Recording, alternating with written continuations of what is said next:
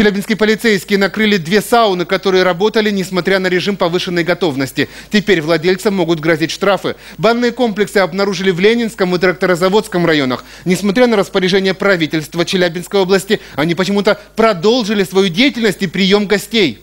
По данным фактам возбуждены административные производства по статье 26.1 Кодекса Российской Федерации об административных правонарушениях. Сотрудники полиции напоминают, что такие меры являются вынужденными и направлены на сдерживание распространения коронавирусной инфекции на территории региона.